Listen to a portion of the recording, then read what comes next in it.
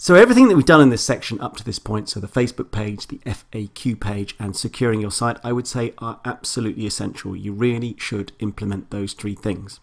But in this lecture, I want to give you some things that are not necessarily essential on day one, but that you might want to implement in the future when your business is more up and running.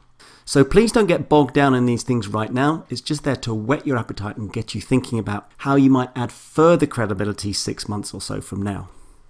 So this first suggestion is to implement some sort of live chat. I've no doubt you've been on some sort of site where at some point a little thing has popped up and said, how can I help you? Well, that's kind of what Tidio Live Chat and many other live chat apps can do for you. Now, live chat is great, but of course, you then need to be responsive. You know, if you type something in and nobody replies, then in some ways that decreases credibility. So you need to be able to react. But having said that, these types of apps also allow the user to see that actually at the moment you're offline and basically you then get a message a bit later on. Now that's not ideal, you would prefer to be more reactive, but at least you're getting something. At least you have the opportunity to build that relationship.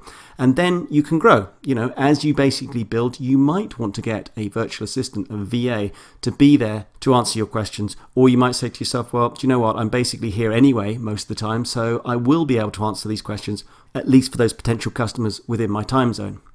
Now, the other thing you might want to do is to include a telephone number on your site so that people can call you. Now, this needs some careful thought because if they call you, clearly they want to have some sort of response or some sort of answering system. So please don't be tempted to use your own mobile telephone number. That will make it very, very difficult to manage your business and probably at best you'll look fairly unprofessional. But you could get a Skype in number for a very small fee, or you could use services like this Grasshopper site where you can basically get a business telephone number that you can then put on your site, and you get all kinds of other functionality with this, as well allowing you to do things like leave voicemails, etc.